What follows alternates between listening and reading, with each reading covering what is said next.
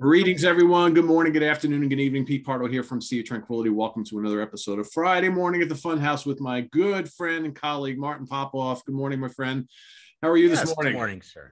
No, doing okay, doing okay. Got out for a jog yesterday. It was kind of nice and warm, so I'm kind of destroyed today. Plus, then I hurt my back lifting a box of uh, Ray, uh, Dio books this morning, so that that ticked me off. But no, it's going to get cold again here, uh, apparently. But uh, it was was very nice yesterday.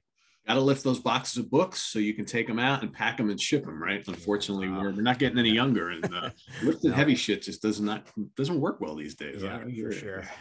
Yeah, the sun is shining in New in uh, New York here this morning. We had rain all day yesterday and ridiculous fog. I went to see Martin Barre in concert last night, about an hour away, and I literally drove to the entire show in this dense, ridiculous fog. And then coming back, it was foggy and pouring rain. I'm like, oh, Wow. sucks. And now it's a little mild this morning. I see all all the, the worms are out on the back patio, and I'm like, you need to get Oh, off. yeah. You're gonna bake in that sun in about an hour. It's like, come on, guys, how'd you get here? Yeah. So uh, anyway, we've got a fun show for you here today. So we uh, have long talked and joked between the two of us about these bands that we each really like that we know the other one doesn't like. And a lot of people have asked, like, when are you guys going to address that whole situation? Well, we're going to do it today. So uh, the title of today's episode is I Understand Why You Think This Band Sucks, basically. So we've each picked five bands from each other that we know the other doesn't like that we like. So, you know, bands that Martin loves that I just don't get, bands that I love that Martin doesn't get. And we're going to kind of talk about why we totally understand the reasons why you don't like them, because there's probably things about each of these bands that is seems just pretty common and it- it's easy to rationalize why certain people may not like them. And we may offer up some information and tidbits and incentive to go check out certain things in the catalog that might sway uh, the other person to maybe go reinvestigate this band in this catalog. So, with all that being said, I'll have Martin kick us off with his first selection for me. Okay, we'll see how this goes. I haven't really thought this through, but we'll uh, we'll, we'll give it a shot here. Uh, New York Dolls. going to start with New York Dolls. So they only made the two albums. They obviously had the reunion stuff later on, which I think is also very good.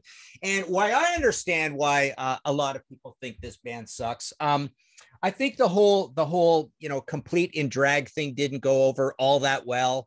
Um, also, this is uh, this is a New York. This is a very critics darling band in New York. Also, there was a lot of hype on them. Um, you know, you talk to them and the apocryphal. I've, I've mentioned this before, but David Krebs said, you know, like he was involved with with the New York Dolls, and uh, and he said, you know, there there would be a mountain of press on them, uh, and there was lots of press even before the albums came out. But um, so so there's that um there's also you know it's gotten into the press it's leaked out uh in terms of this idea of them um not being a very good live band and sloppy and they always obviously they had their drug problems including heroin and that. So and maybe it's true they were not that good live.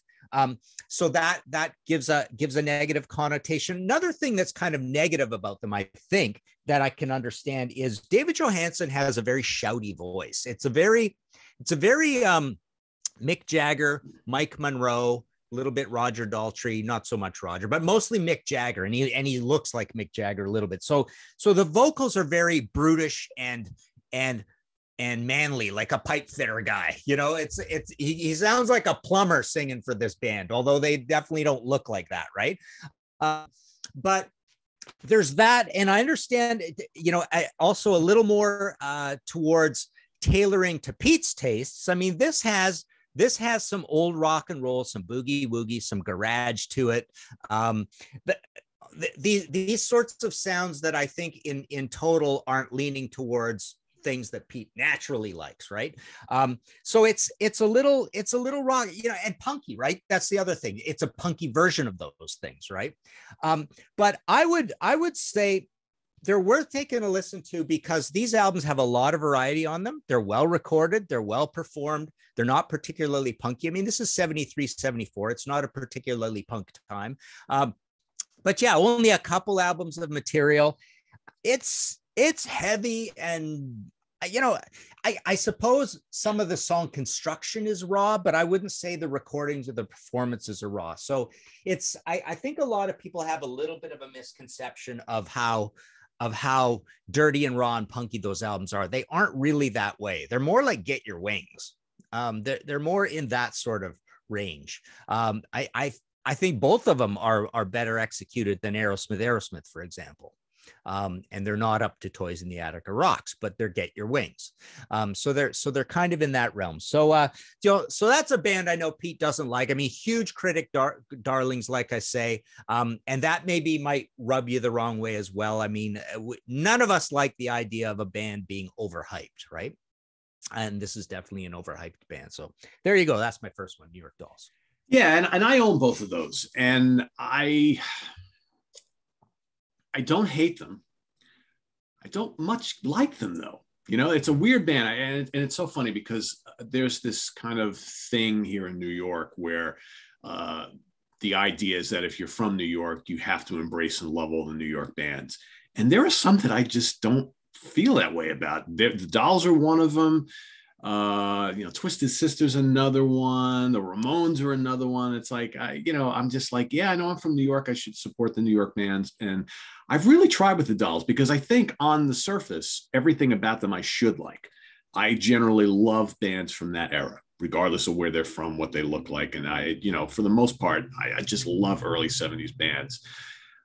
I'm not crazy about the vocals I think that's part of the big thing with me.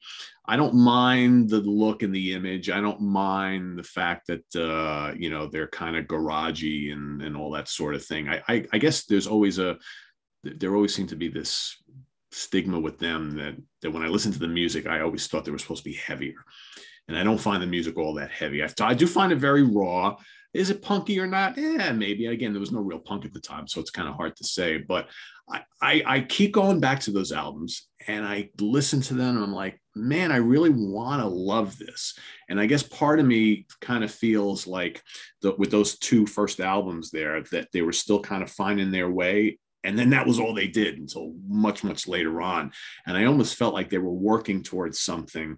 And then that something just never quite hit for me. Yeah. So I don't know. Is there I just, a little bit in New York, like in in Canada, definitely. There's a we we're we're almost programmed not to like Canadian bands because we think ah you're from here there's nothing special about you there's no mystique I can see right through yeah I know I know you're I know your Canadianness right and I mean with New York bands do you sometimes think there's just no magic because I I know you I I know what you're like no I think here it's expected not from Britain what's what's that it's, it's expected here like it's most people you talk to it's like you have wow. to support the New York bands and if you wow. don't like if you like if, if for instance if I like you know if you meet someone here and you find out that they're from New York and they don't like Billy Joel, it's just, the person is shocked. They're like, how, how can you not like Billy Joel? That's like, you know, apple pie for New York, right? It's just, you mm-hmm. can't not like Billy Joel.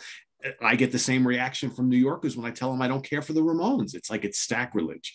Um, so yeah, it's really weird. It's this weird thing with New Yorkers. It's like you have to, you know, you have to love, you know, only New York sports teams whatever they are. And it's like, and if because like you, you meet someone from New York and they tell you they love the Dallas Cowboys, you're like, what? How can you follow the Dallas Cowboys? You're from New York. You're supposed to love the Giants or the Jets, right?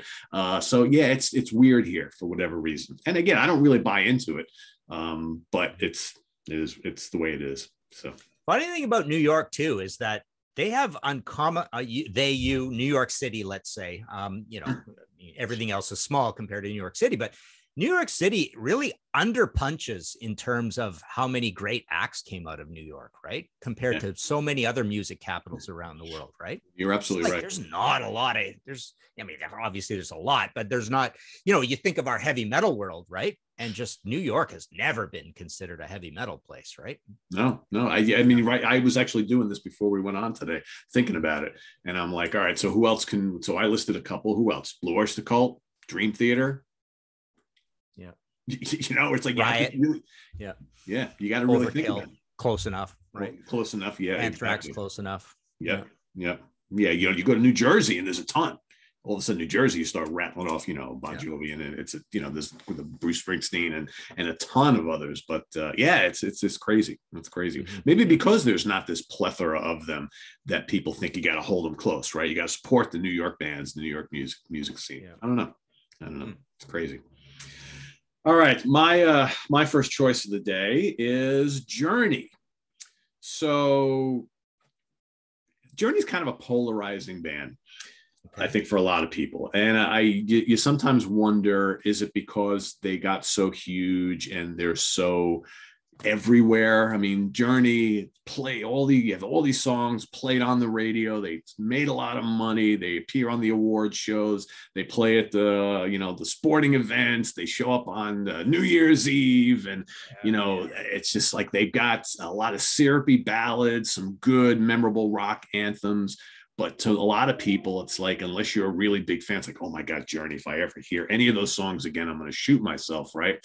And then you got you got the guy, you know, Steve Perry who you, whoever depending on who you talk to the greatest singer of all time or yeah that guy with the annoying voice right absolutely yeah. right? yeah i mean we got into a whole discussion months ago about steve perry and, and i you know i heard what you said and i was like and i really couldn't argue it because while i personally think that steve perry was an amazing vocalist i get it i understand why some people might cringe hearing that voice because you know he's got the, the, the crooning thing and he can do the histrionic stuff and sometimes he's a little over the top.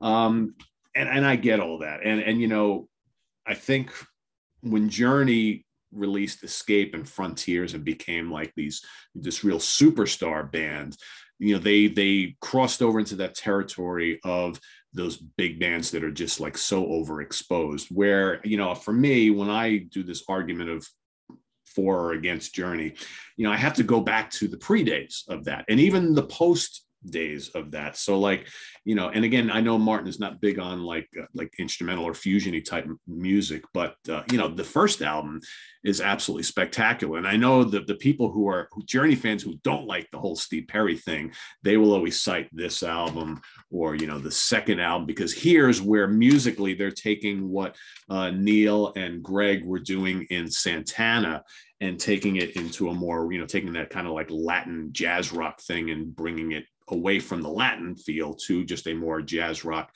contemporary hard rock type of thing. Uh, you know, for me, for my money, I think the Infinity album is the apex of Steve Perry's time in the band, and I'll and I'll tell you why I think so. Because a, it's early on, in his tenure in the band, and he's still sharing lead vocals with Greg Rolie, who is a terrific singer. So for someone who thinks that you know hearing Steve Perry throughout the whole album, all him, is a little overbearing, like you probably do, Martin, this is the album I think to get because here you've got he's on most of the tracks, but he's still sharing vocals with Greg Rolie, and Greg Rolie always thought was a terrific singer. And this is just a great rock record. Yeah, it's got a couple hits on it, but it's it's just really really good dramatic uh, rock music of the time and you know departure also is is pretty good hard rock record but the steve perry thing notwithstanding so he's been gone from the band for a million years. And you know the opposite are the people who think that this band can't exist without him right? You've got the people who he's too much and i don't really like them with him. And then there's the people like you can't have a journey without him. You know, I would argue that Eclipse, which is the last studio album, they, they've got a new one coming out, but the last studio album they did with Arnel Pineda, is a terrific hard rock album. And there's really there's no hits on this. It's not really all that commercial. And I mean, we haven't talked about Neal Schon yet here in this discussion, but what a terrific in the pocket for the song guitar player. Great riffs, killer solos. To some, he sounds a little formulaic because everything sounds too perfect all the time. You go see them live, he plays everything note for note, but it, it's just perfectly executed from within each song. And I, I love this album because it's not overly commercial and people just ignored this like the plague, which is a shame because there's a lot of really, really great songs here. But I, you know, I get it. This band has this kind of corporate type of thing to it because of their success, because they were everywhere. And I think, uh, you know, when most people, maybe specifically not here in, in the US, uh, think of like that kind of overplayed corporate American rock, like Journey's like the poster child for, for something like that. So I totally get it. I love them, but they're not for everybody. And that's totally cool. And you know, the the big choruses and the kind of formulaic nature of the music, I understand. I love them personally, but Martin, I totally, totally get why you don't.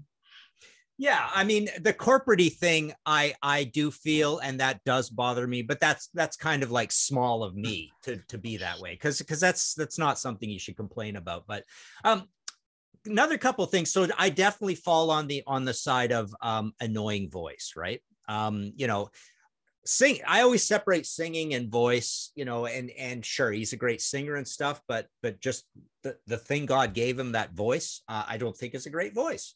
Um not crazy about it right? Um another thing that bothers me i've always found those productions to be kind of annoying and not matching the music very well. It's it's not very listenable, all that big Mike Stone noise and echo going on.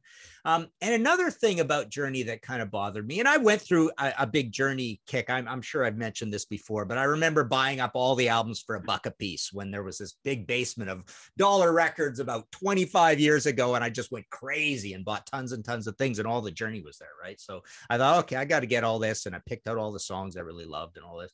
But uh, another thing that bothers me is, um, and this happens with like the Eagles and Motley Crue, and even to some extent Van Halen, this idea of overtime and Aerosmith, well, not Steven Tyler, put it that way.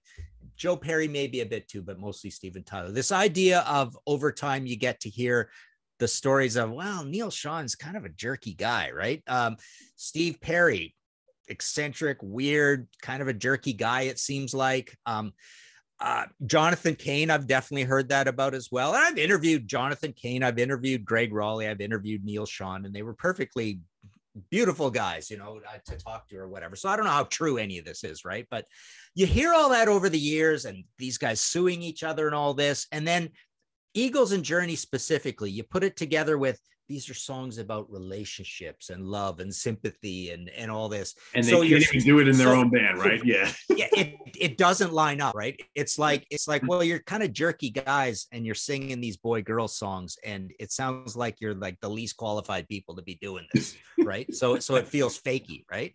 Um, so so that always bothered me as well with Journey. It's it's like and you hear the prima donna stories, um, not so much with Journey. I can't think of any off the top of my head, but Eagles definitely. You hear the prima donna stories, right? Um, so yeah, so, so, those are some of the reasons right there, and just the sappy, the formulaic thing. I don't think they have a lot to say in the lyrics otherwise. Um, so yeah, there's there's a bunch of reasons there. It, you know, it comes down to this thing where you know you talk with with major music fans, and I always have this debate. Sometimes it's like you got to put some people on your list of bands you don't like. You can't say you love everybody, right? Yeah. Because we tend to do that, right? When you really like music a lot, there's not a lot of bands you don't like, and it's like at, at some point you gotta you gotta draw that line in the sand and say, you know what, I'm sticking this band below that line. Yeah. Journey's one of those. Yeah, I hear you. I hear it. Now, uh, your thoughts on Arnel Pineda? Have you listened to much of the material with him? Sounds great. Um, but there's a little bit of that uh, Ronnie Romero thing to him, where where you you are a little distracted that English is in his first language. And it's like, of all the choices you could have made, I mean, God love him, you know, coming from the Philippines and that. And it's great. And it's great that the band had an open mind to do that. But it's like, it's it's like when you hear when you hear a band go out and say we auditioned 100 singers and we hired this guy turned out he didn't work out because he didn't write songs it's like you couldn't have checked that beforehand right so so here you've got you've got one of the few guys you could have tried where there is this extra little problem, right? Yeah. And so I can never get that out of my mind. I'm, I'm thinking of of the way he pronounces things and the diction and all that when he when he's singing. It's like it's a distraction to me. I I'm sorry, it just kind of is, right? Yeah, um, sometimes it's hard to get past that the years, you know. Yeah, yeah, and and like the Ronnie Romero thing, and it's like Ronnie's on everybody's album, right? And it's it's like, well, it's it's it's an it's an odd thing where uh, it, it's it's like when uh, when you know people talk about you know I have this debate with people about learning French or learning a second language, right? It's like, do I really want to spend hundreds and hundreds and hundreds of hours learning a second language when I only use one at a time? And even if I spend those hundreds and hundreds of hours, I'm, I'm going to be about as good a French speaker as a six year old kid, right? because I'm never going to use it. I'm going to keep forget all the time, right? Right. That's a good point. So, yeah. yeah i don't know. Yeah it's it's just just strange. So anyways all right my my second choice um what do we got next? We got the clash. So we've all talked about the clash london calling greatest album of all time the only band that matters right? The clash. On the cover of time magazine i think it was although I say that all the time. I, I, sometimes I wonder if these things are true. I know Springsteen was on time, right? Yes, he was. Um, but uh, there's the second album. Love the second album. There's one I don't like so much, the the big album because it had "Should I Stay or Should I Go" on it. Uh, what else? Actually, yeah, that's the only hit, the only hit they ever had, kind of thing. Uh, I suppose London Callings turned out to be a deep tracks hit, but I can understand why why you don't like it. This is one of those you had to be there kind of situations. All of punk is kind of like that. It's like it's like the mood and the place, and you got to be an Anglophile, and you got to like be into you know the miners' strike and the heat wave and Margaret Thatcher and all this stuff stuff to, to love sort of the whole package of all this stuff right? And the and the story of punk and punk in london versus new york and all this and and the political things and having an album called sandinista. But so so it is it is sort of a punk band but then they changed and then they got a little heavier but it was still punky and then london calling not punky at all. Too many music styles. It's confusing. I can understand that. Um, I, I know was it Jamie who said uh, like it's kind of comedic at times. It's like oh I I noticed that and it's kind of true. They had kind of a disco-y hit with Train in Vain. Um, they do reggae. This is white guys doing reggae. Are they doing it good? Are they doing it bad? You know who knows, right? Is it cultural appropriation? You've got both singers. Um, Mick Jones can be a little uh, uh, flat and sharp challenged at times uh, odd voice, and then you've got Joe Strummer, who's a who's this punk shouter kind of guy, and it's easy to not like Joe's vocals, right? So if you're a big vocal aficionado, you're, you you might not be crazy about the Clash. You get to uh, um, combat rock and cut the crap, and you've got all this dub and electronic stuck in it. And and that can be really annoying. That's annoying to me as well. So yeah it's a it's a very baffling band. Um but you know, I I just love I love the lyrics. I love the whole idea of the Clash. I love the fearlessness and the weird styles, all the different things they do. They're one of my favorite bands of all time. But uh, but I can understand if uh, if you're coming from a whole different place where you love prog and fusion and great productions and all that stuff. You know, anything semi in that realm is in a whole different place from all that, right? Yeah, I, you know, God, I, I have been told for decades it's like Pete, why? How do you not like the Clash? And I'm like, oh, you know, I've never been a punk guy. That's no surprise, right? I've, yeah, I've yeah, said that a million times. I've never been a big punk guy. Ironically, I don't find this band a punk band at all. No, and particularly no. Yeah, right. But they're always kind of they're always kind of labeled that. And yeah, I remember, you know, you and I have had many discussions about uh, London Calling, and I had this big discussion with Mike Portnoy about it, and he's like, "Really, you don't like that album?" I'm like, ah, "I've never owned it. I've heard most of it, whatever." So I was like, "All right, I'm going to go out and get it," you know. And I went and I was like, I was really wanting to be pleasantly surprised because I'm like, this is labeled as one of the greatest albums of all time, and I love the title track. I absolutely love that song and then I get it, and I'm kind of like, and you, I mean, you put it perfectly. It's like it, it's stylistically all over the place. And I, you know, they're doing like reggae and this weird kind of schmartzy pop stuff, and there's really nothing punk on there. And really, the only the song that could even be labeled that is the title track, which ironically is the only song that I like.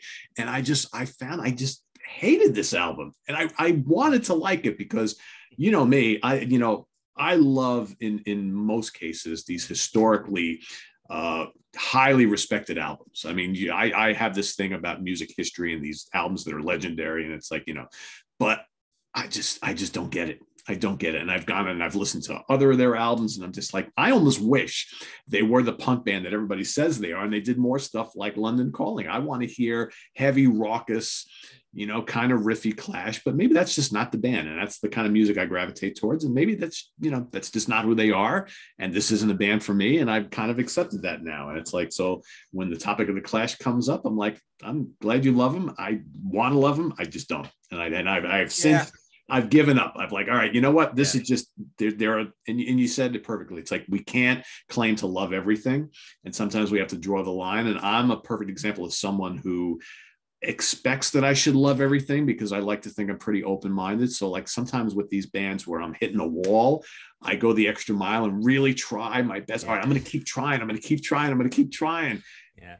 And I, I'm done trying with the Clash. I'm just, I, I, am just done. You know, the New York Dolls, I'm still holding out hopes for, but the, you know, the, the Clash, I'm just kind of like, I just don't get it. I don't get it. They're just not for me.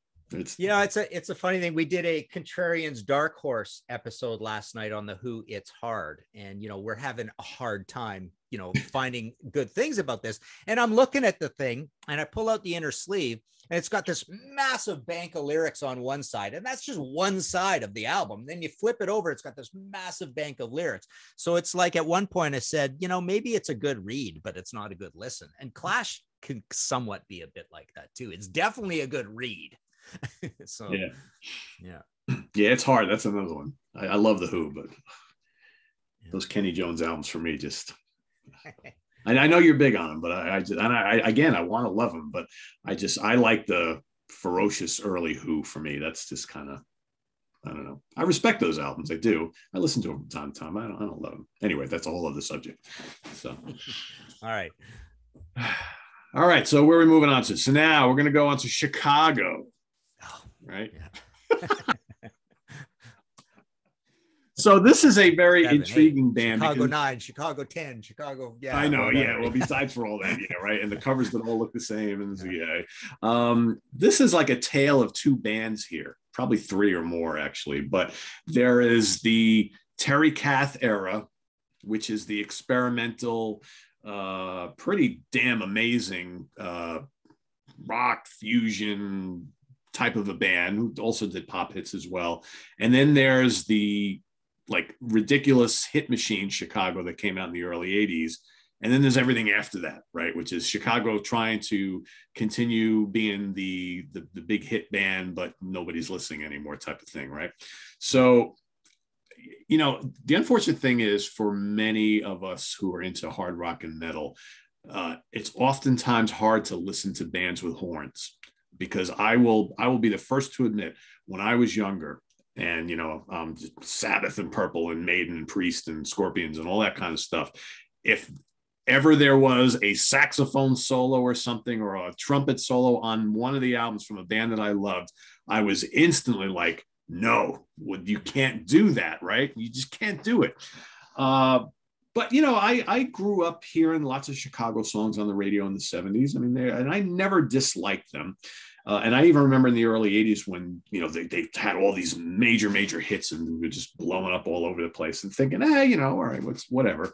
But in the years since, and probably specifically since I got into prog really heavily about 30 years ago, uh, I went back and, and reinvestigated this band because a good buddy of mine is a huge Chicago fan and had him and his brother who have been since they were kids. And I found that this band early on, and specifically with stuff like, you know, the debut and the, the second album and the third album, all three of which are double albums. I mean, who does that in music history? Who starts off right off the bat and releases three double albums in a row and then releases a quadruple live album and then another double? It's just it's ridiculous. Uh, Chicago Five, which is a little is single album, but much more stripped down because the first couple albums are all these kind of like all these extended suites, mixing jazz and rock and hard rock and some Latin tinge stuff and some pop.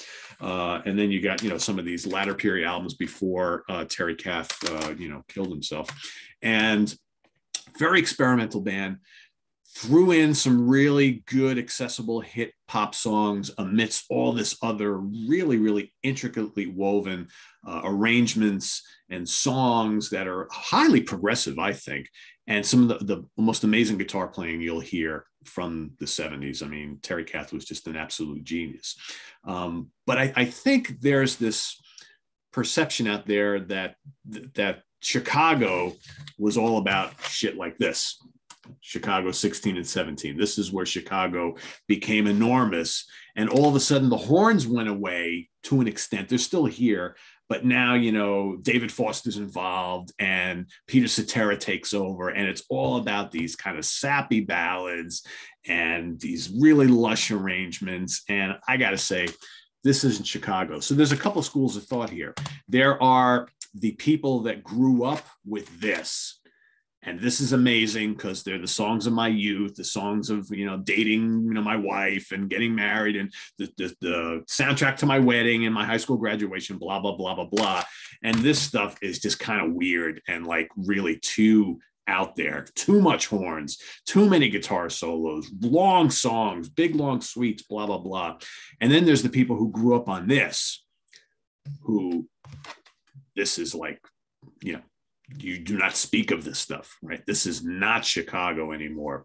So I get both camps big time, but I, you know, I think that uh, the people who really, really gravitate towards this stuff probably are never going to like this.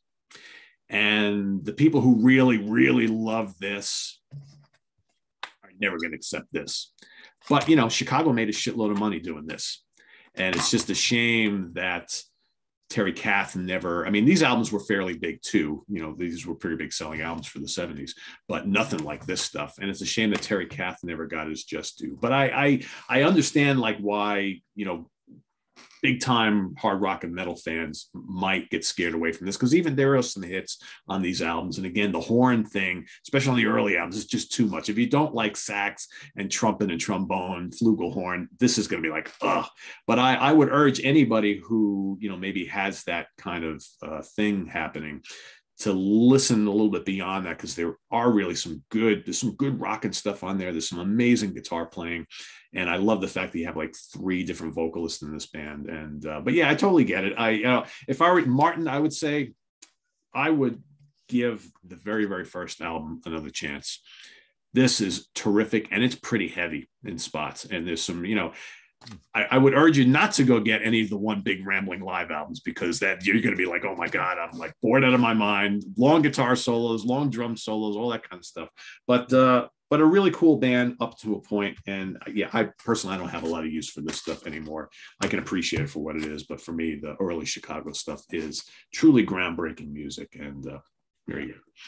Yeah, you've convinced me. I mean, I, I do have to try that stuff again, but definitely David Foster, Peter Cetera, that stuff drove me crazy. I, I, I hate that stuff, and I really do not like horns. Uh, in in I mean, the only place I like horns is in really weird krautrock, right? Uh, or or an English band who sounds like that. You know, a, right. a Van der Graaf generator sounds like that, right? That that sort of idea. Anybody who's a little krautrocky, right? I don't know. Are there actually horns in Van der Graaf anywhere?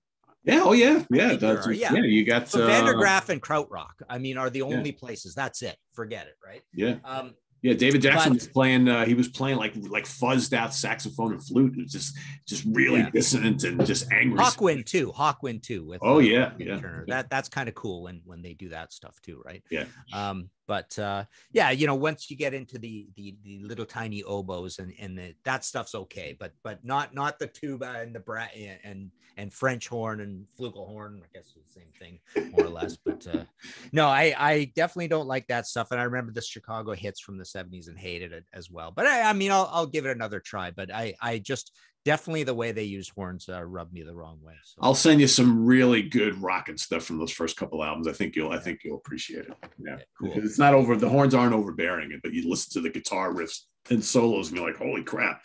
It's like yeah, this is yeah. Chicago. Yeah. All right, my next choice is uh, Nirvana. Um, you know nirvana this this album here their first album uh, i've often rated this my favorite grunge album of all time. It's up there with green river rehab doll and the and the first long ep from mudhoney superfuzz big muff. Those are the those are the trinity for me. I love alice in chains dirt as well. Obviously this was the big album. Um you know can i understand why someone wouldn't like this band? I mean um you know, is it all grunge for you more or less? Are you do you have a, a low grunge tolerance? I, I love Alice in Chains and Soundgarden. I yeah. don't really care for much of the rest. Pearl Jam, I remember we talked about that yeah. too. Yeah, but Nirvana, I can understand. Uh, you know, a few things. The the suicide really rubs people the wrong way. I mean, I mean, just that casts a whole pall over everything Nirvana. It it really it really essentially, you know, to be kind of crude about it, turns the turns listening Nirvana into a bummer kind of thing, right? Um, because you're always that's always on your mind, right? Um, but the other thing, of course, is that this was such a huge album. It was super, super hyped. Um, was it overhyped? I don't know because it's an amazing album, but it's also um, quite a bit cleaner than this one. This is a really aggressive, dark, heavy album. It's it's not commercial at all. Um, but you know, I, I don't think the production of this is is particularly um, particularly uh, too inaccessible. And then they did the third album, and then it's actually kind of dirty and but it's also dirty and dark again, and and that's a hard album to get into as well. Um, so so that one's kind of off-putting or standoffish. So I, I, can understand. I mean, his voice. I don't know. What do you think of his vocals? Do you like his vocals or no? Uh, not at all. Yeah. yeah. So it's um it's uh, I I think he's a great. I think he has both a great voice and he does cool things with it. So I I, I guess I would. I've never really thought about it, but I I would put him in a. I'm I really like his vocal style, and and I think he's uh, he has an interesting way of being able to shout with power but still be melodic at the same time. Some people are just shouty and it and it doesn't have much dimension to it. I think Roger Daltrey when he's shouty is is not all that interesting, right? Um, but I I think um I think when when Kurt does that, it's pretty cool. I think the lyrics are are really cool, although they are dark. But I think he does a very good job with it. You can tell these guys are massive music fans, and yet they make fairly simple music, which I guess is probably another reason you're not that big big a fan of it. Um, they're also one of the bands that started that annoying thing, uh, at at least a fair bit on this one, where things are rocking out, but then when the verse comes in, it gets kind of quiet, and then that was picked up by by emo music or whatever. I mean, yeah, could be considered a little bit of the start of the whole emo thing. Um, but yeah, massive band. Um, it's the band that kind of blew grunge wide open and then it just got annoying that everybody everything was grunge grunge grunge all the time. But you know i i really can't see how we can really fault a song like smells like teen spirit. I think it's just a great well put together song. Pretty awesome pretty rocking um and and one thing i always felt with grunge and and i still feel it to this day is that you know there is the there is the narrative that it swept away all the hair metal stuff and but but i, I also come into it as a as a metalhead and say it was heavier than most hair metal in a lot of ways, and yeah, that's what I kind of liked yeah. about it. Yeah. And and even there even even the band on this I think is still a pretty heavy rocking band compared even to a lot of hair metal. But this thing's just uh, just an all and out classic. Like I say, possibly the best uh, of all. So there you go, Nirvana. Yeah, I mean, I bought into it in the beginning when that mm-hmm. when, when they came out. I was like, ah, cool, you know, something different, whatever. I don't know. I just, yeah, his vocals bothered me. There's kind of like a whininess to the way he sings that I guess never really sat well with me. And after a while, I, you know, I was willing to say, all right, I don't really much like these guys anymore, but I, I kind of accept where they're at and who they are and all that kind of stuff. But I got, I got really turned off by this constant, you know, he was constantly talking about how, oh, you know, I don't know, fame and fortune, ah, yeah, not for me. It's just like, you know, it, it's just constant. It's like, well, then, then why are you doing this? You know, and it's, and then, you know, when he committed suicide, it was just kind of like, you know he was he was talking about this kind of stuff for a long time before he he he did that. And uh you know he just he his dna was not meant to be this big rock star guy. Just wasn't. And then then why were you there? I don't know. I guess that uh it, it was just a weird time in music a weird time in the world i guess where all of a sudden everybody thought it was okay to be depressed and it was okay to uh you know talk about your innermost problems that you're dealing with and it just i don't know there's just the whole scene was kind of a downer for me you know i mean coming out of the 80s wasn't really like that i guess so I don't know. I just I got turned off by the whole scene, but I always, like I said, I always really loved Alice in Chains and Soundgarden. I think in Alice in Chains, early Alice in Chains, not that much different from a depressing standpoint. You listen to some of those early albums, there, there's a fair share of that too, but um, there was more musical dynamics in Alice in Chains and Soundgarden. And I think just for me, Nirvana was just very simple, kind of caveman type stuff. And, yep. and not that I don't listen to stuff like that on occasion, right? I do have bands that that are like that. One we might even be talking about in a couple minutes, but um, uh, yeah, I don't know. It just it just didn't work for me, and I got tired of it really quick. Like I said, I bought into it right off the bat when they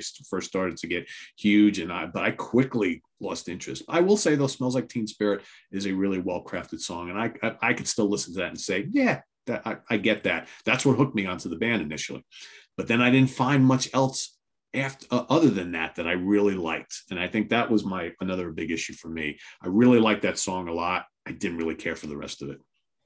Yeah, and you know, there's only three albums. You can complain that the first one's too dirty. You can complain the second one's too poppy. You can complain that the third one is too dark and too Steve Albini-ish, right? Yeah. And you know, outside of that, there was Incesticide, which uh, which is you know, when Nirvana did the the B side stuff and the and the you know the demo or not to be released stuff, it kind of really was that way because it was already starting from a simple standpoint. So Incesticide is not that interesting, really either. And live the live stuff is not that interesting either. Um, so yeah, you you really only got the three albums to hang your hat on too. So yeah, it's not a lot. It's not a lot. Yeah. All right, next up, let's talk about an instrumental band. Martin's favorite style of music, right? no vocals, no vocals for the most part. Uh, the Dixie Dregs. So, you know, a very well respected group within musician circles. But if you were to stop like 10 people on the street tomorrow and ask them, uh, you know who the Dixie Dregs are? I bet you nine or 10 out of 10 would be like, I have no clue who the Dixie Dregs are. Who was that? Like uh, Dixie? Was that a new country band or something like that? Not really.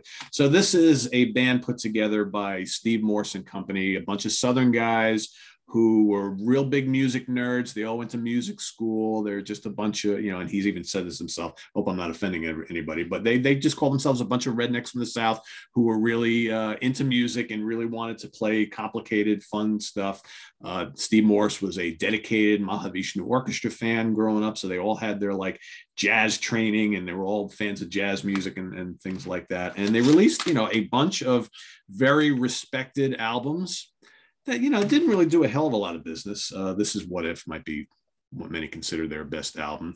And the problem with this band is they were kind of like all over the map stylistically speaking, and they, they had no vocals. So you're not going to get played on the radio because you don't have any vocals. And your music is like this mix of like jazz and fusion and rock and little bits of blues and bluegrass and country and classical and chamber and baroque. And it's just like, what is all this stuff? Uh, you know, the musicianship is absolutely spectacular. But other than like a few songs here and there, you know, not a lot. Of, there's a couple songs that have good hooks for instrumental songs, but for the most part, it's just challenging listening. And if you are someone who likes, you know, pop hooks or big, nice riffs and memorable anthemic songs, this is not going to be for you at all. And I think that uh, even, and, and they also came around a little bit too late because I think if the Dregs came out in like the early mid 70s and started releasing albums, they would have caught on to the heyday of fusion. This is when, you know, Miles Davis and Return to Forever, Mahavishnu, Weather Report, all those kind of bands were selling lots of records. Uh, but by the time the Dregs came around in the late 70s, that was all done already. So here they are fighting to stay alive. And they did a lot of touring, they did a lot of uh, tour dates with bands who were of the total complete opposite, right? Not necessarily bands like them. So I think they really struggled to find their audience. You know, Steve Morse was very acclaimed as one of the best guitar players on the face of the planet. He won lots of uh, guitar player awards year after year, but the band never made a lot of money. And it wasn't until uh, this album, which is the one I would recommend to you, Martin, uh, which is Industry Standard. And this was the last album they did in the 80s. They even changed the name to the Dregs. They probably figured that this Dixie thing is probably steering people in, in a different direction. Then they hear the music, they're like, oh, what the hell is this? So Industry Standard actually had uh, two vocal tracks on them, which are pretty good, pretty accessible. Uh, Alex Ligertwood from Santana sang on one, and Patrick Simmons from the Doobie Brothers sang on the other. And they're good songs. It's not really what I want to hear personally from the Dregs, but you almost wonder if they would have decided to take that route and go, you know, all vocal. Might be talking about a different story here at this point. I'm kind of glad they didn't, but uh, yeah, I get it. This is this is at times very weird music. I, I have played Dixie Dregs music to people who don't like instrumental music, don't like prog, jazz, fusion, bluegrass, country, and they're like, "What the hell is this?" They're like, "Yeah, that's a pretty ripping guitar and a little, a little too much violin, and uh, you got some piano there, but it all doesn't make sense." To me, it makes a lot of sense, but I totally get where people hear this and they're like, I just don't understand this at all. But musically speaking, from a you know like a virtuoso perspective, a band full of geniuses, but probably not understood by the masses. I totally understand that. Yeah, my my problem is I I just barely even consider instrumental music without vocals and lyrics to be like literally a ceiling of 30%.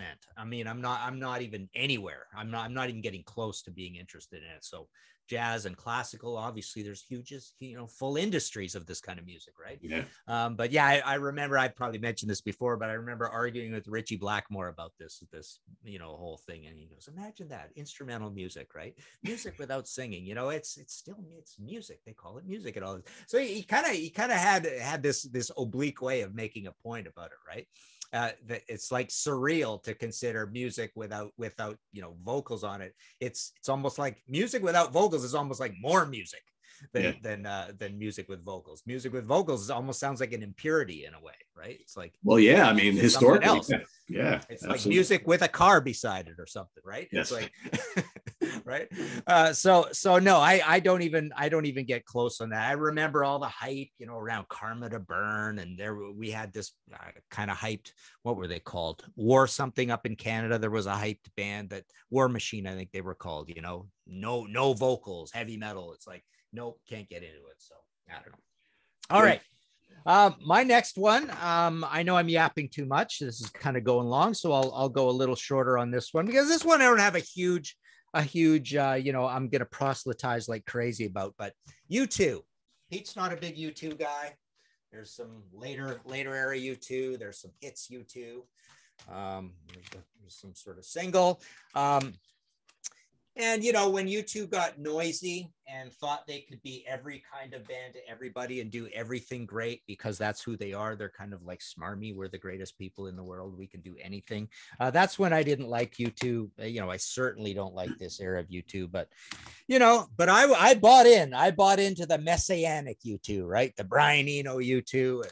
Joshua Tree and uh, you know Boy, all all that early stuff, which was really cool, interesting post punk that fit in the whole Teardrop Explodes, Echo and the Bunnymen, The Cure uh, type thing. Those early albums, October and all that. Um, so I thought I thought it was super super interesting for quite a while, and then I started to you know Rattle and Hum was okay, but people considered that an overrated thing and oh now we're now we're americana and we're we're like we we've tapped into the soul of america even though we're from ireland and all this stuff. Yeah. so i can see there's a lot of reasons to not like them.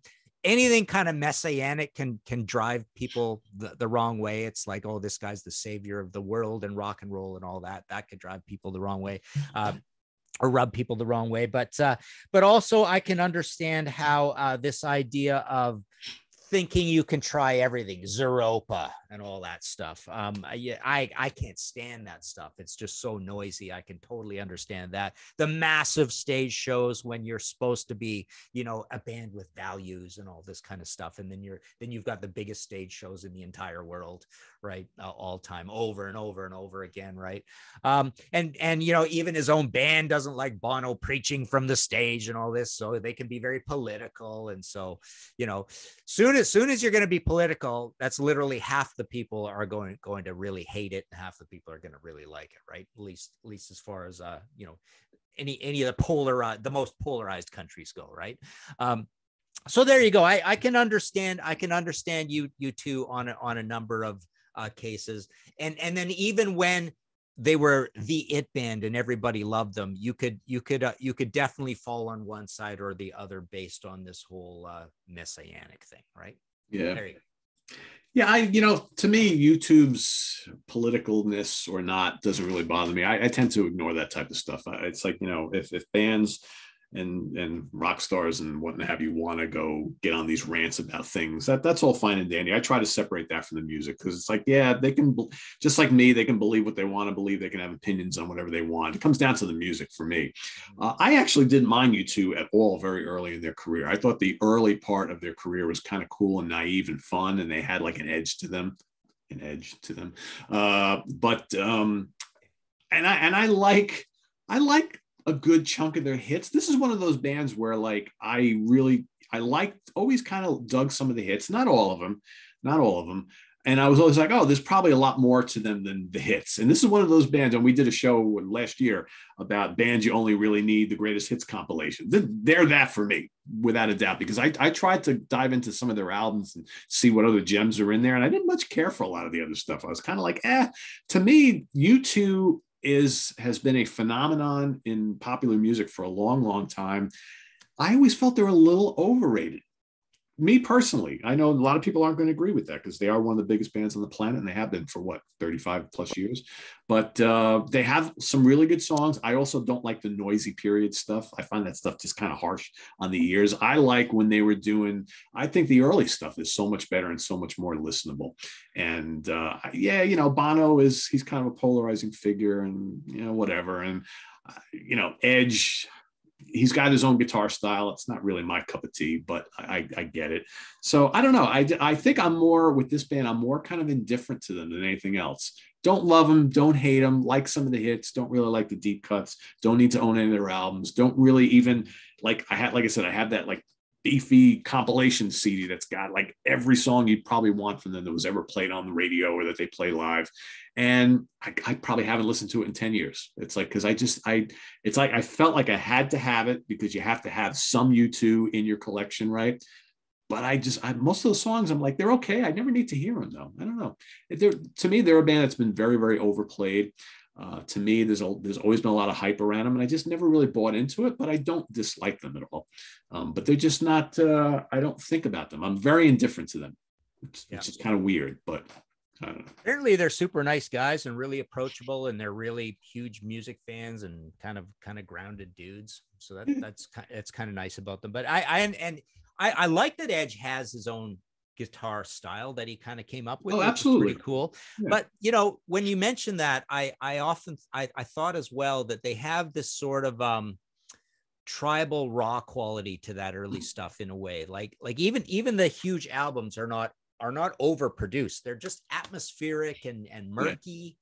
And uh, and there's often kind of tribal drumming and a kind of a straightforward. So there's a there's a simplicity factor again as well with you two, I think. Yeah, I remember when Joshua Tree came out and people were hailing it as like a, you know, rock masterpiece, one of the greatest rock records of all time. And I was kind of like, all right, yeah, it's a couple good songs, right? Uh, I just, I don't know, I didn't get it quite. I was like, it's okay. I think uh, that's that's like it's like weird. I have a really weird relationship with U2. I'm like, I, I just like I'm I'm not not really strong one way or the other. I'm just kind of like very down the middle. I'm accepting of it, but I don't necessarily really enjoy it right? It's weird. I, have never been able to put my finger on U2 for some reason because I get asked about U2 all the time from people on the channel constantly. It's like, Pete, you never talk about U2. You have, don't you have an opinion on U2? It's like, I really don't. I just don't. I don't know. I've tried. So cool. All right. So here's uh here's an interesting. So we're gonna go way back with this band. So uh, Cream. So you know, Martin's not a fan of Cream, and uh, not not a long career, not a lot of albums, right? Very known for their live performances, while their studio stuff is a little, little reserved. I think. I, I you know, this is and this is a weird one here because I, I think that like I can totally get why you don't like the studio stuff and then I know why you don't like the live stuff, right? That's that's very obvious, right? But to me, I really I like Cream a lot, but I tend to think I'd rather hear them live because I think that's really where their personality comes out. I find their studio albums kind of confusing because there's this perception in rock history that Cream were one of the first heavy bands, right? Do you find any of their stuff all that heavy? Not particularly. Right. I mean, you know, Sunshine of Your Love's got that kind of heavy riff, and there's a couple of the songs here and there, but I don't find them heavy. They're, to me, they're like the first like kind of jam band and I like them for that. I find that their albums are fairly inconsistent. They're loaded with classics, but you know, there's weird kind of like semi poppy, psychedelic talking through the lyrics. And then you got some songs that are kind of bluesy and rocking with some great guitar work by Clapton. You got Clapton and Jack Bruce singing. Some people don't like Jack Bruce's vocals, some people do. Um, I don't know. I I like I said, I really like Cream a lot, but I find that when I want to listen to Cream, I go and I reach for something like this. But I know something like this, you know, either the two live albums and you got, you know, the live side to this one. Uh, the endless guitar, bass, and drum solos drive people mad. And then you got, you know, you got Ginger Baker, who to me is, I always kind of put him in the same category as like a Keith Moon. Very unpredictable, a lot of great skills. I love him as a drummer, but for some people, his he's all over the place. And it's just like I always found that like with Cream live, they're like three guys that are not always on the same page and any one of them can go off into like charts unknown uh, and the others are probably wondering where the hell is he going with that? And let's bring him back in. So yeah i mean and they have some good radio hits and some nice bluesy stuff but i i, I don't know.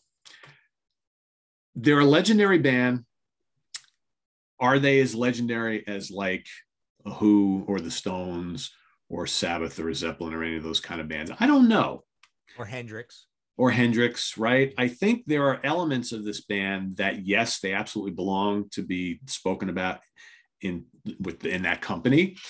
Uh, but sometimes I go back and I listen to the albums and I'm kind of like, hmm, I get it where people would say, yeah, Cream, not, not as important as some of these other bands. I think, you know, they were one of the, the first true, true super group. And I think all three of them were such virtuosos and they did do some legendary stuff together. But it's such a small catalog. They were together such a short period of time before they imploded that it, it's kind of hard to assess this band for me.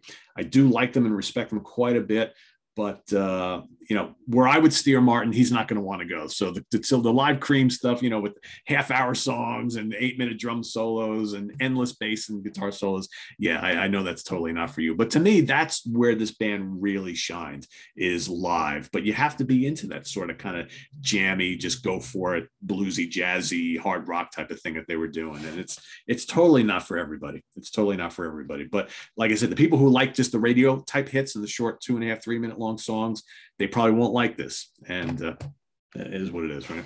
So, yeah, I mean, to me, no one really particularly likes the first album. No one particularly particularly likes the last album. So you're left with just the stuff in the middle. Yeah. There's kind of the big hits which are the, the seminal sort of hard rocky riffy songs.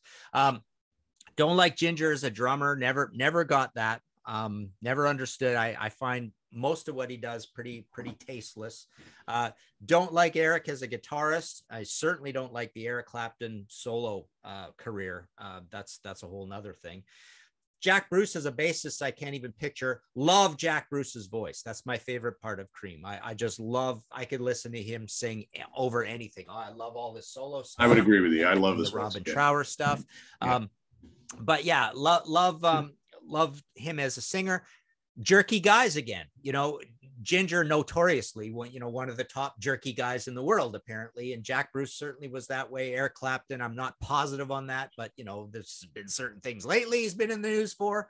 Um, but uh, but that that bothers me as well. Um, the idea of the being overrated thing, um, you know, they're rated super highly, so of course they're overrated for that reason. So yeah, just never never been. You know, I I compare them to the parallel career doing the same thing sort of thing. Hendrix and hendrix i think blows him away. Uh, everybody in the band you, you, know just tastefulness of, of the playing of everybody in the band and the interesting things they're doing i think is better. Cream to me it was always a little caveman-y um, and dated um, and all that jammy stuff. So add all that up and th- those are my reasons for not being a big cream guy so yeah, I, I, don't think the cream stuff has aged as well as the Hendrix stuff. Uh, and you know, they're the, the parallels are pretty similar because both around like for just a few short years, a handful of albums. Although you know we've gotten a ton of stuff from Hendrix after he died. But uh, yeah, I I think for me, if if I were to look at all the Cream studio stuff, take out the best of because all those albums are pretty short anyway. You take out the best from all those albums, you have a pretty damn great album. It's a lot of filler on that on those albums, a lot, in my yeah. opinion. Yeah, and it hasn't aged well. Like some of that stuff, just like you listen to it, you're like, yeah, oh yeah, that sounds 1967. Sure. Yeah. All right, my last one to uh, to bring some comedic value uh, to this show. Uh, poison. Oh. Good old poison. Yeah. Pete's favorite. There you go. Um, so yeah, my my open-minded understanding of why someone wouldn't like poison. There's a lot of reasons. Um, being the you know the typical glam band is one. Um, the idea of being kind of uh, prima donna, maybe jerky guys, uh, but that whole thing, like all those reasons why hair metal had to die, many of them uh, you could accuse Poison of. Um, the whole neon green thing, Type O Negative did it better.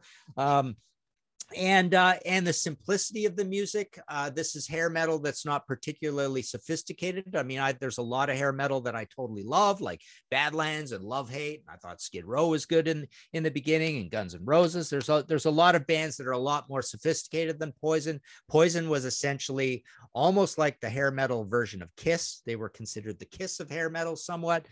CC DeVille with the piercing guitar solos, like so loud and annoying. He's almost like the um what's what's the garbage can drummer in Sesame Street. He's he's that guy oh, yeah. of guitar solos in a way.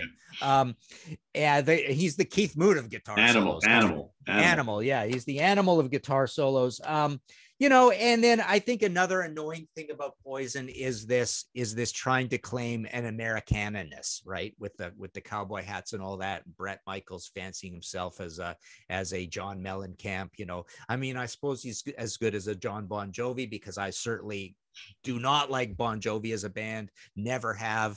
Um, so I, I, I don't consider John Bon Jovi on any pedestal above Bret Michaels, but John John Mellencamp to me is a god, and so is Bruce Springsteen in that in that oeuvre, right? Um, but yeah, so there is that too. There's the there's the truck stop Americana, the Walmart Southern Rock uh, idea of poison that rubs people the wrong way as well. The big show might rub people the wrong way. Oh, you're oh you're doing the big show to uh, to you know uh, overcompensate for the music or whatever.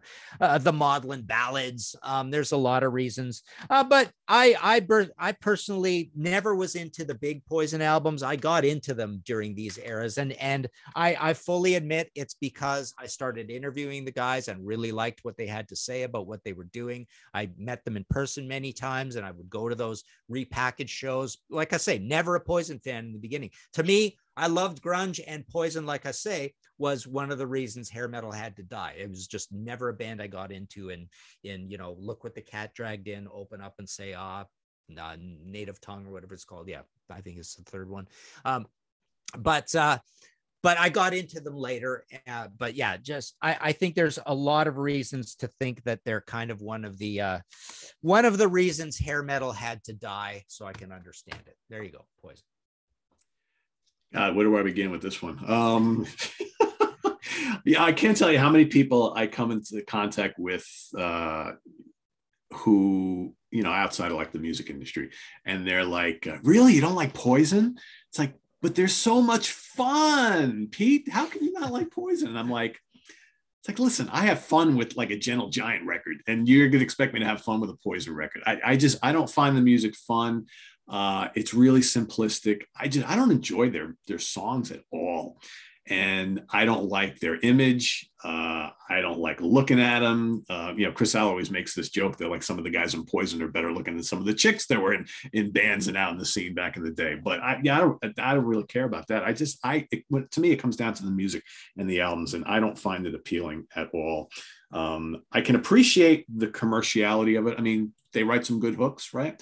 it's just not it's not for me. I don't know. This this is just a band I have been a solid no on from the beginning, and uh, I will be quite honest. I really haven't tried to dive any further into them. I was like, I was not into them when they first came out. I, have heard the first handful of albums. I saw them live. It's one of the worst bands I ever saw live, and I just from that point on, I'm like, yep, yeah, that's it. Poison and me is does not compute. So yeah incredibly pretty... maudlin choruses and stuff. Like it, it is very uh, the Americana part of them kind of drives me the wrong way. Like I don't like that side of it. I like there is some kind of com- uh, more complex and interesting things they do later on and the drumming gets more interesting but yeah it's uh there's there's a strong bon jovi thing to them that i i definitely don't like but uh yeah. but i kind of did find them fun going out to those packaged things you know when they, they would play the shed here in toronto molson amphitheater and stuff and on a big bill and you'd see a lot of people out because that was all during that whole era where metal is dying everything's dying you know and, and none of this stuff is doing that well and hair metal is you know certainly had never had any sort of of a comeback. So it was neat to see, you know, a lot of people coming out for rock and roll, right? Yeah. I find too a lot of these people that I that I mentioned before that I talked to who were like, "Oh, I love Poison. They're so much fun."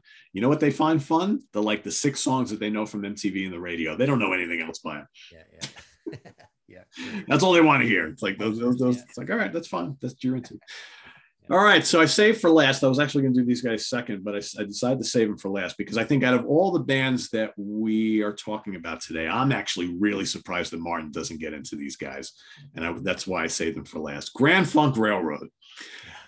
I know Martin loves a lot of like kind of garagey type stuff, and like and there's a especially the early part of the catalog. There's this kind of like homegrown for the people Neanderthalness of Grand Funk Railroad that I'm I'm really surprised you don't like, but but I get it. Uh, and and if it was anybody else I was talking to, I I would say I understand the not appealness of this band, right? So they were never never proclaimed to be the greatest musicians on the planet, right?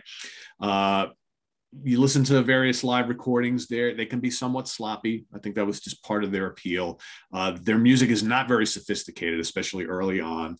Um, mark farner while i think is one of the great underrated frontmen in rock and roll history he never claimed to be the best guitar player in the world. A lot of the guitar riffs and things are you know kind of simplistic. Good vocalist though. Uh, you've got these weirdly produced albums which you know and you brought this up on many occasions where you know grand funk railroad is many times touted from myself included as one of the great he- early heavy bands. And and you know but you listen to some of these albums they're really not all that heavy. Like i think the songs are heavy in nature but the execution the production is really not. Like mark farner's guitar work on most of these studio albums kind of clean sounding like it's almost like well if you add some fuzz and some distortion then all of a sudden maybe you know things might sound a little different. That being said a lot of really really great songs on some of these albums. I just pulled out a bunch of my favorites here. Like martin e. Pluribus funk my favorite album from them. Amazing. Uh, they're really long albums too surprisingly for this time. I mean uh, especially like their debut is like God, this this almost could have been a double album. It's probably not far from it. Uh, but again, production is kind of it's weird. You got these songs that want to be heavy because they're a fairly like uh, raucous type of band. The arrangements are usually fast paced, but the guitar sound needed a little more oomph. But I think I know a lot of people don't mind that too much, but it because it, it kind of separated them a little bit from some of the other bands on the scene but they had their definitely had their heavy moments. They did some more atmospheric type stuff. They had some radio hits, uh, but some of their songs are it's kind of weird because you got this really up tempo, fiery and furious music, and then they mix like R and B and funk elements, which is a little weird. I mean, there really wasn't anybody else doing this at the time. But then I think you know they got more sophisticated. Started working with Todd Rundgren on the "We're an American Band," which has great songs on it. It's missing the rawness of these early albums, but you know all of a sudden they added Craig Frost on keyboards, becoming more accessible, shining on, kind of rinse repeat there. I would say I would recommend for Martin here uh, the the not the last album they did, but the last album they did in the '70s um, is uh, "Good Singing, Good Playing." Where they're hooked up with Frank Zappa. This is actually a really fun album. And I think it takes the sophistication of those Todd Rundgren produced albums, some really good songs and melodies and things like that. Uh, but it returns them back to the kind of more raucous nature of their early stuff, but it's better produced. There's good guitar work on here. The guitar sounds great, really good songs. It's just a really fun, like hard rock record, I think. So, but I get it. I mean, they're hey, let, let's let's be frank here. Most of the critics back in the day hated these guys this was a band for the people the song lyrics especially early on. It's like they were trying to appeal to the teens and the college students uh, with their distaste for war and what's going on in politics and all that kind of stuff. So you know you today people would probably call them a pretty um, you know they're they're being really relative to what's going on in the world. But you know back then uh, you were looked at by critics if you were singing too much about you know you're being against the vietnam war and against watergate and blah blah blah all that stuff that's going on. It's like uh, you know that's not really the cool thing to do but the people love these guys. That's why they've always been called the people's band. But uh, yeah i don't know. I, I thought they were a kind of a cool phenomenon. I really enjoy their music quite a bit but another polarizing band because to some people who have a little bit more sophisticated taste this is like caveman music right? Got these three guys making a lot of noise. They don't especially play any of their instruments all that well. Uh, their songs are kind of neanderthal maybe not all that interesting. Yeah they got a couple hits but there's not much else. I think there's a lot there's a lot in their catalog that's just really, really good. They, they, one of my favorite deep cut bands of all time is Grand Funk Railroad, but I get it. I think the critics also didn't like them because it Terry Knight, right? That was the yeah. manager, right? That's his yeah. name. Like he he promoted the hell out of them. Oh yeah, so many ads and billboards, and and they did well, and then they put yeah. out albums super fast, and they all went gold and all this stuff, and they were, but they always called themselves like the biggest band in the world, right? Kind of thing, right? Yeah. Um, they were so so heavy on the promotion. I think that rubs critics the wrong way too. But uh, yeah, and I I don't like the funk and R and B elements, and and you're right i guess the guitars are kind of clean the vocals are certainly clean so you don't you don't get that thing in the vocal end of things causing it to sound more extreme either right? So everything you know i, I always used to joke because uh, so many people love grand funk and, and it just seems like a band i should like but i used to joke that uh, you know god gave me a whole different set of grand funk albums than everybody else because because it, it, literally fit, feels like a band where am i or am i even listening to the same band as all these people um, so yeah, I, I've, I've owned them all and just just never get into them in a big way. I know the Red album's considered a great early heavy metal album and all this stuff. It's like I'm, I'm not here. I'm not hearing the heaviness really out of this band, right? And not even that early. Not even that early live album, huh? Yeah, well, live, live is a live is a trick though, right? Live doesn't count in a, in a way, right? Um, but uh, but yeah, I mean, I know the Red albums. It's fairly heavy, right? Um, for its day. I think it's 69 or something like yeah, that. I yeah. mean, they, they started pretty early. Yeah. Um, but yeah, just uh, just that whole the, the, the they're kind of the mix of the two Detroit things, and and one of them is simple hard rock, which is not all that incredibly interesting, and the other one is the Motown and the R and B kind of thing. Yeah. So they're mixing these two things together, and then coming into the '70s with it, and still sounding kind of dated, um, and just yeah, never never been a never been a big fan, but yeah. what, what can you do? Like we always say, you can't like everything, right? Yeah, absolutely. Yeah, that's the point of this whole episode, and we we get it. So uh, there you have it, everybody. Some bands that each of us like that the other doesn't, and we understand why. So no hard feelings, right, Martin? We'll shake on it. Absolutely. Absolutely. well, now that we got that one out of the way, we'll uh, move to other uh, topics starting next week. So uh, thanks for watching. This was actually fun to do, and uh, Martin, what's uh, what's what do you got in stock? You, you talking about the Dio book before? It's uh, you got plenty left. Yeah, this is the this is the big thing. So this came in a couple days ago, three days ago. Dream Evil Dio in the '80s, and it's uh, it's moving quite well. I'm packing up a ton of books. I got a few pages of uh, orders to get uh, before the end of the day into the mail. So that's uh, came out martinpopoff.com. And of course, uh, thank you very much for the uh, for the priest review, the visual. Um, so yeah, that that's still going and uh, and the UFO and I still have all the other ones, the Heep, the Van Halen, the Blue Oyster Cult. So uh, martinpopoff.com for that stuff. I got the podcast history in five songs with Martin Popoff. The last was was on fade outs, what happens as songs are fading out. And uh, we've got the contrarians. So that's the whole package a lot of good stuff. Very cool. So uh, thanks for watching, everybody. Visit us on the web at www.seatranquility.org. Visit us on Facebook and Twitter. But of course, we're here all together all the damn time on YouTube. We've got coming up here on the channel. We have tomorrow. We've got the UK connection with uh, Simon Brain, Stephen Reed. We got a fun little rant for you of, um, I guess, things that upset us that happen at concerts. So uh, check out that. That was a lot of fun. That was that was uh, intended to be something pretty simple, and, and it wound up becoming this full blown hour plus rant on the shit that happens at concerts, which is uh, it was pretty fun. Uh, then we've got the uh, album homework assignment coming up on Sunday. Sydney Taylor and Nick Franco from Hudson Valley Squares going head to head. So that's happening on Sunday. We've also got, all right, so there is no Hudson Valley Squares on Monday. I will be actually at a comedy event. Um, and we were unable to align everybody's schedules to record an episode. However, I have a very cool substitute for the Hudson Valley Squares, an interview with a very very famous person uh, that'll be airing on Monday. I'm not going to give it away, so you'll just have to tune in Monday night at 8 p.m. Eastern Standard Time to check out the episode. Uh, and uh, other than that, for Martin Popoff, I'm Pete Pardo. We'll see you next Friday, everybody. Take care. Bye bye.